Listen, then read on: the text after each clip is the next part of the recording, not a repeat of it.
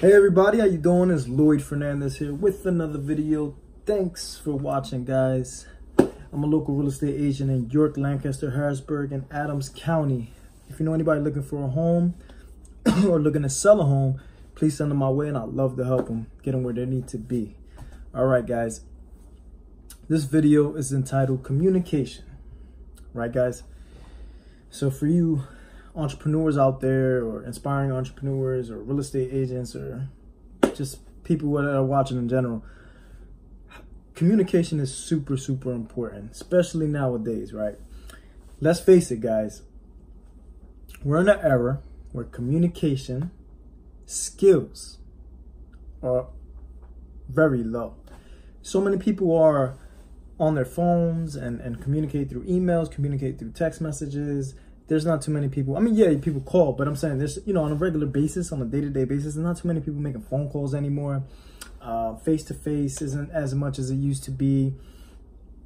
Uh, when you're doing doing, doing any um, work, you can work from home in a lot of industries now. So communication is lacking, right? And it's going to continue to get worse as time goes on, right? But how important are, are communication skills in in real estate, in, in any industry when you're in selling, in, in sales, right? Sorry, in sales. How important is that, guys? It's very super important. Having a high level of communication skills will separate you from the other salesmen, uh, salespeople. And it can determine whether you're going to be successful or not. You got to remember, guys, communication skills is pretty much, man, I'm going to say 70 to 80% of it, if you ask me. That's my opinion. When I think back of all my past and my transactions and everything, because you could be good at, you know, everything. Um, contracts, you could be the man, you could be the best agent around town, right? But if you have no zero communication skills, how are you gonna get clients?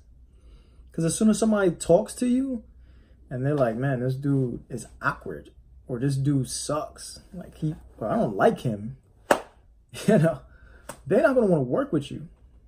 They're just not. People people buy off of emotion most of the time. They go with their, their gut, their feeling. And if you have poor communication skills, then that's not going to put you in line to, to make that sell with those people.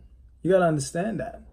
Okay, it's not about being super duper with the contracts. I mean, yeah, obviously you want to be good, you want to be competent, you want to represent your clients. Absolutely, that's not. I'm not saying not to do those things, but what I'm saying is when you're putting things of importance on your to-do list or on your priority list, communication. When you're talking about sales, communication is super important. That's what a sales person is supposed to have. Uh, the, the you know that's their skill. You know, like you know, you have a welder, they're skilled at welding, and you have um, a carpenter, they're skilled at woodwork. You know, you have your different industries. We're sales people. We have to be good at communication. That's our skill, correct? And sales. So, guys, in this day and age, a lot of people are lacking. Man, and the generations coming up, they're they're worse. And it's just getting worse and worse. People are awkward around each other. People are awkward to talk to a stranger or just somebody you know to approach people. People are, you know, scared to do that. There's so much anxiety with that with people and, and they don't know what to say and they just make it awkward. And if you know you want to separate yourself from everybody else, get your communication skills up. There's a lot of things, man, a lot. Whether you, you know, about communication, whether it's your, you know, because words is like 20% of it.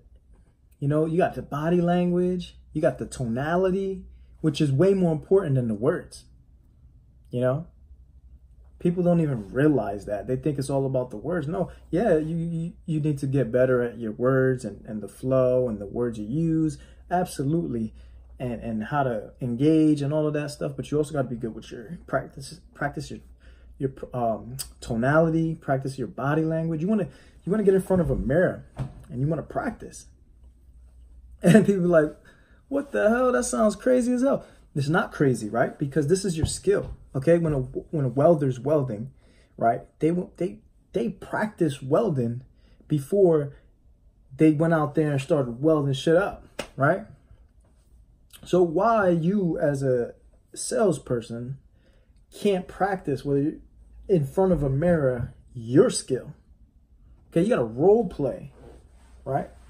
Another exercise that I would recommend is, um, you know, putting yourself on on a test every day. You know, people, you know, if you're scared to talk to people and you're like, man, I just, man, stop the bullshit. You got to go horns in, man. Like, you want to change, you want to be successful, you better get used to being on, in uncomfortable situations. So if you're afraid of something, put yourself in it. Because nobody's good at anything when they first try. You know, when you're getting into entrepreneurship and you're getting into, let's say you're, being, you're going to be a realtor, you know, sales, you're making a, a life change of things that you're normally not doing for the last, you know, 20, 30, 40 years. You're, you're, you're doing new things. You're putting yourself in, in situations that you didn't put yourself in for, the, for those years. So, of course, you're going to lack the skills and you're not going to be great and you're going to feel awkward and you're you're going to be uncomfortable and, and all of this. But guess what? right? When you think about all that, I'm going to be uncomfortable. I'm going to be awkward. But if you don't do it, you're never going to make it in what you're trying to do. So either you got two decisions to make. Either I'm going to do this or I'm not. Because if you're going to say, I'm going to do this, but I don't want to put myself in those situations, you're not going to do it. I don't know. You, you got like some crazy fantasy thing going on with your brain right now. Like seriously, seriously. You have to be able to talk to strangers. You have to be able to talk and, and make the conversation go well where they don't feel awkward, pressured. I mean, you got to work on your skills, communication, communication skills. You, you know, a, a good test to, to do, what I was trying to say was challenge yourself. Say, I'm going to talk to three strangers a day. I'm going to talk to four, five. Just every day, I'm going to talk to two, three, four, five strangers, no matter what. I don't care how awkward it goes. And you know what? Just engage. Just engage. I mean, you know, there's a lot of things I could suggest how to engage, you know, without being a weirdo and, and feeling coming off like a weirdo. But you know, you can study that, man. Go online and, and look and study. Study your skills. I don't know why realtors out there don't want to study their skills.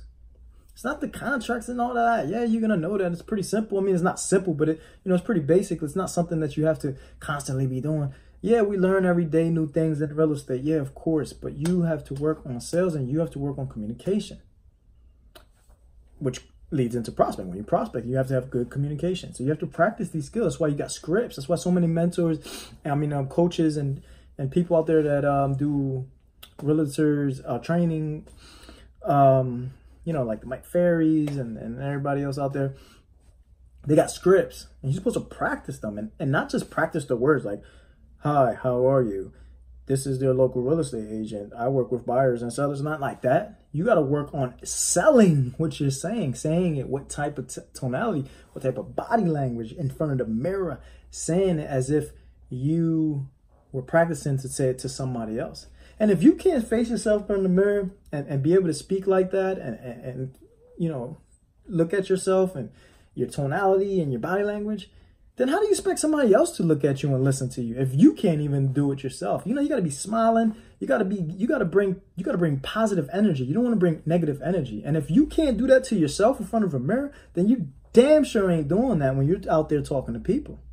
You know, a lot of people walk around with this angry face. If you're out there walking around in your angry face, who's to want to buy something from you? What kind of vibe are you giving? Everybody's mostly on a a lot of people are usually on a that vibe nowadays because of social media and the lack of communications is like leave me alone standoffish and if you bring that standoffish um, energy how do you expect to sell them anything you know you got to come with a positive energy you got to overcome that energy you got to bring them into your your positive energy and bring them up so when you're done talking to that person that person's feeling you know happy and, and motivated or not motivated but they're feeling you know better you know usually when i talk to people um strangers or whatever you know, by the time I'm done talking to them, they seem to be in a better mood. Immediately when I get in there, a lot of times, not every time, but a lot, they're not in a good mood, you know? And um, hey, I'm prepared for that. I practice for that. I'm used to it, got experience in that. And I'm able to, you know, most of the time, not every time, but most of the time I'm able to get them out of that. And then by the time I leave the door, they're, they're smiling and they're happy. Versus when I knocked on that door or when I first started talking to them, they were angry. They looked like they didn't want to be bothered having a rough day, you know? And if you're walking around with that, you're not going to be approached like you, you trying to, you're, you're a real estate agent or you're an entrepreneur and you want to sell something, but you got that, you walking around with that face, you need to stop and practice smiling. Practice smiling. Smiling, try to be angry when you smile. I mean, that's almost impossible, right?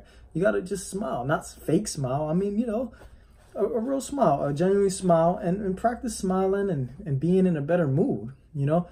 Put yourself to the test. Like, you know, when you feel like um, you're thinking negative, you're feeling like you're just standoffish, smile. Just say, all right, time to smile. And, you know, slowly, progressively over time, you'll get better. You'll get better and you smile uh, and, and, and approach people, you know, talk to strangers, you know, use situational things to start the conversation. Don't just go in and say, hey, how, you know, hey, how you doing? Like, that's a little weird. Or, you know, if you're a guy like saying, oh, you're you're beautiful, you're hot to a girl. I mean, that just don't work. I mean, say something that's going on. If they're holding, you know, like got something in their hand that you're like, oh, that, that that's, you know, you're in the store or something. Hey, oh yeah, I see you got that. Oh, I just wanted to say that, you know, that I got that. Uh, it, it, it's really nice. I, I use it a lot. And then this conversation usually flows. You know, let them do the, you know, asking you questions at, after that point. Don't keep on asking them and being weird. You know, you make your entrance, you say something, and if they respond back, then you keep it going in the next flow. If they don't say anything after you said that, there's uh, then you leave them alone. You know, but you gotta you gotta learn how to spark that conversation up with people, okay? You gotta work on your skills. Communication skills is, whew, man, if you don't have communication skills, to be honest, I don't even see how you can make it being in sales. I just, I just don't. Um, so yeah, guys, you know, work on that.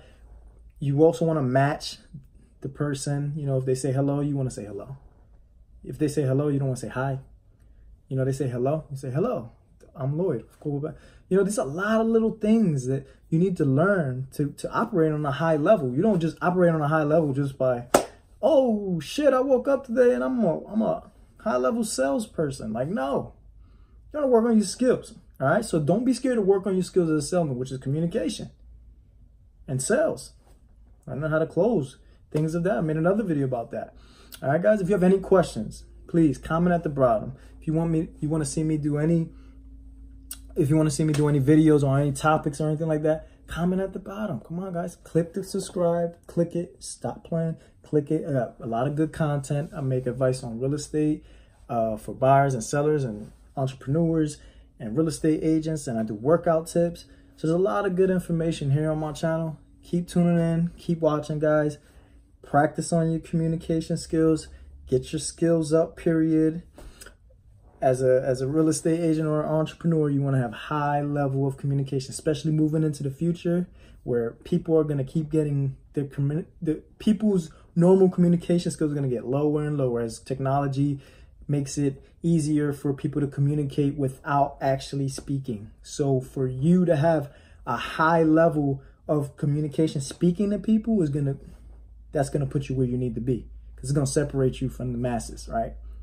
they're gonna you're gonna you're gonna stick out. You know, that's what you want. All right, guys. I wish you luck. I wish you success, and I wish you good health. Bye bye.